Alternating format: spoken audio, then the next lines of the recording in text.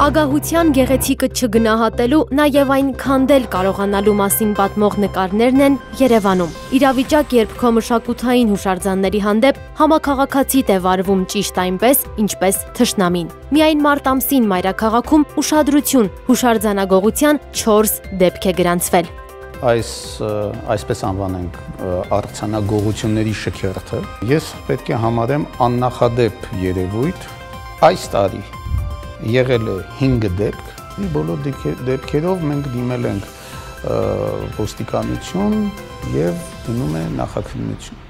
առանց կիսանդրի մնացած պատվանդաններ։ Սա մեր խաթարված արժեհամակարգի դիմագիծն է։ Այսպես 2021 թվականի սկզբին անհետացավ Սիրահարների այգում տեղադրված Գևորգ Էմինի սիամական կատվի արձանիկը։ Մարտ ամսին արդեն իր տեղում չէր նաև Երևանի 2800-ամյակի զբոսայգու ամենասիրելի արձաններից մեկը՝ Նավակով տղան։ Այսօր հայ բարերարների ճեմուղու 6 հուշարձաններն անդեմ են, գողացել են հուշարձանների մետաղական հատվածները։ Կողոպուտի եւ վանդալիզմի զոհ է դարձել նաև Շուշանիկ Գուրգինյանի շիրմարձանը Կոմիտասի անվան Պանթեոնում գողացել են բանաստեղծուհու Կիսանդրին։ Հանցագործությունների հաջորդ թիրախը Սուրբ Աստվածածին եկեղեցու Բաքում գտնվող լրագրողի արձանն է, մնացել է առանց ձեռքի եւ ոտքի։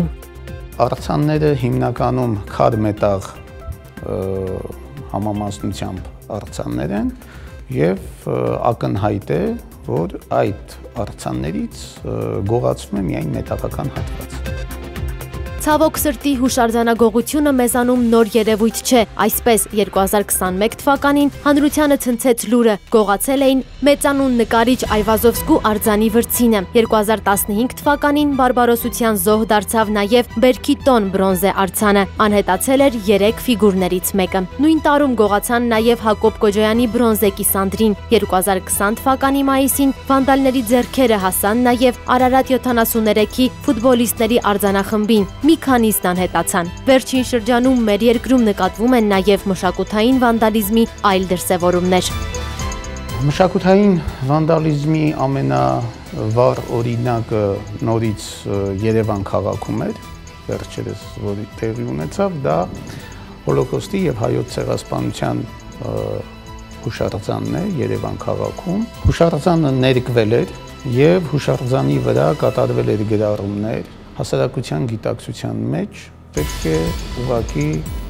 սերմանվի այն գաղափարը, այն միտքը, որ ցանկացած իրավիճակում, լինի դա սոցիալական, լինի դա ազգային, միևնույնն է հուշարձանի նկատմամբ վանդալիզմը որևէ կերպ արդարացում չունի։ Ցանկացած հանցագործություն դատապարտելի է, բայց կան դեպքեր, որ դուրս են մարդկային երևակայությունից։ Սա գողություն է ինքդ քեզնից, քո երեխայից, քո սերունդներից։ Սա մշակութային սպանդ է, որը պետք է խստիվ պատժվի։ Գոհար Ներսիսյան, Սերգեյ Ղազարյան, Առավոտը շանթում։